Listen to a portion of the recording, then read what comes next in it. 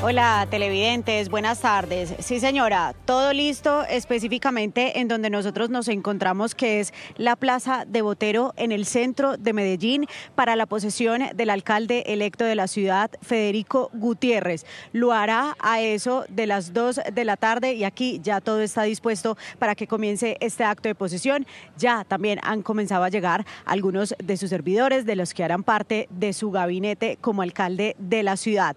A las 4 de la tarde lo hará el gobernador de Antioquia, Andrés Julián Rendón, en el municipio de Cisneros, nordeste del departamento. También durante la mañana ambos mandatarios realizaron varios actos privados. Ellos ya se posicionaron ante el Consejo de Medellín y también ante la Asamblea de Antioquia respectivamente y ya se puede decir que tenemos nuevo alcalde y nuevo gobernador de Antioquia. Por supuesto, nosotros estaremos muy atentos a cómo avanzan estos eventos aquí en el departamento.